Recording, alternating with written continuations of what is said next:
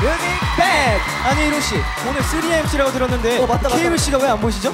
씨. 야, 야, 너네 또 오늘 왜 이렇게 시끄럽니? 저희 MC 가야 되는데 어디 갔다 오셨어요? 아하, 야, 나 오늘 MC 아니라 1위 후보로 이 자리에 온 거거든. 오. 아니 그러면 완전 멋진 1위 후보 한 번만 어떻게, 부탁드릴게요. 어떻게? 완전 멋있게. 네, 아 여러분들 이렇게 많은 사랑 주셔서 제가 1위 후보 할 수 있었던 것 같아요. 너무 감사드리고요. 아, 싸이 형 이제 슬슬 물러나실 때가 되지 않았나.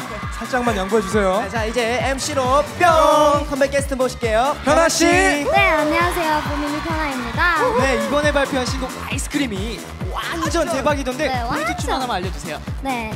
난 달콤한 아이스크림, 넌 녹아내릴 걸. 어때, 어때? 우리 누가 누가 난 거? 누가 제일 난거 같아요? 누가? 오빠가 조금 더 느낌이 아, 좋은 뭘것 알아, 뭘 같네요. 알아.